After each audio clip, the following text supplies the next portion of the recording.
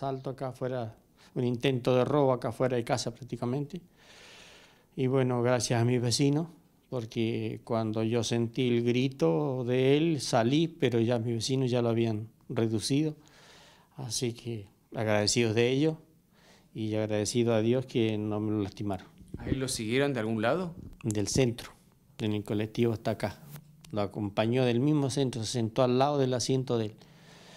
Y eran dos y el otro pasó de largo. El otro le dijo, no, yo me voy a casa. Pero también subió en el mismo colectivo y eran de Villa Caracol, me parece. Me parece, y bueno, se ve que uno siguió de largo y el otro se bajó acá para robarlo. ¿Y pudo sacar alguna pertenencia, Juan? No, no, no le pudo sacar nada.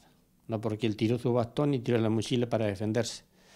Y ya ahí él, bueno, pegó el grito cuando él lo asfixió pegó el grito, porque luchó mucho con él, porque dos veces se levantó del piso y bueno, hasta que lo logró reducir y poder eh, gritar, como él dice, hasta que pegó el grito ese.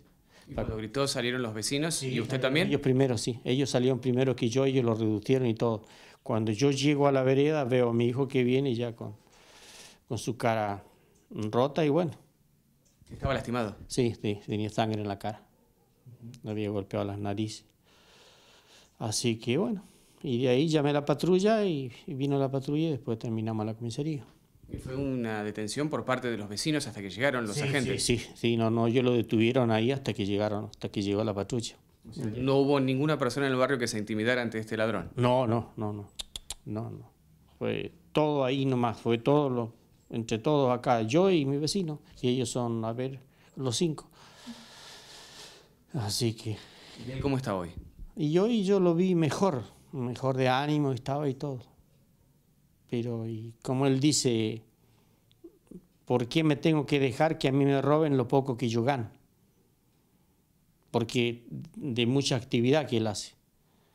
Él hace, por ejemplo, va a Braille, está haciendo un proyecto de, una imprenta, eh, después hace otras cosas más, parte de computación, después ensaya con su banda en, la que toca y canta, eh, que casi todos los fines de semana por todos lados, eh, que también les da el municipio, porque también el otro compañero también canta y también es ciego. Eh, está llevando la vida por delante. Sí, eh, eso, y bueno, y después en su trabajo, bueno, es cuando le sale algo lo hace y cuando no, no. Pero él siempre está buscando algo. O sea que esto simplemente va a ser un mal recuerdo. Esto va a ser un mal recuerdo para él para toda su vida. Pero como él dice, tengo que defenderme de vuelta, lo voy a volver a hacer.